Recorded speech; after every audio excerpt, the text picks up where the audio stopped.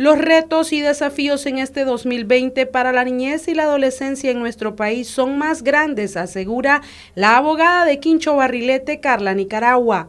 Que uno de los mayores desafíos y con el cual pues todavía el, el Estado de Nicaragua no ha cumplido a cabalidad con ello es en relación a la reducción de la exclusión escolar y garantizar sobre todo una calidad de la educación, ¿verdad? Esto se puede lograr con una mayor y un mejor inversión pública, tanto en la infraestructura como en equipos para los niños, niñas y adolescentes, ¿verdad? de forma tal que se garantice que reciban clases en ambientes seguros, en buenas condiciones y que sean los docentes bien formados, con salarios dignos, los que transmitan estos conocimientos a los niños con eh, implementación y diseños de metodologías de enseñanza, ¿verdad? Que se adecúen a la realidad nicaragüense. Eso es uno de los retos.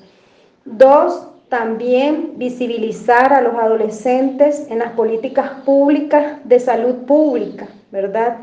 Eh, hay que también invertir en este campo relacionado con la salud para fortalecer toda la atención en el tema de embarazos adolescentes, eh, educación en salud sexual reproductiva, la misma prevención del VIH, evitar el consumo de drogas, de alcohol, de tabaco, todo lo que tiene que ver con la violencia de género es algo que también es un reto para Nicaragua.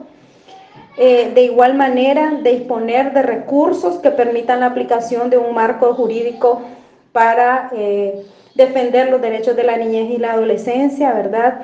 Esto con un enfoque transformador de... Eh, definitivamente cambiar los estereotipos de aspectos negativos de la cultura nicaragüense, como es el machismo, el adultismo.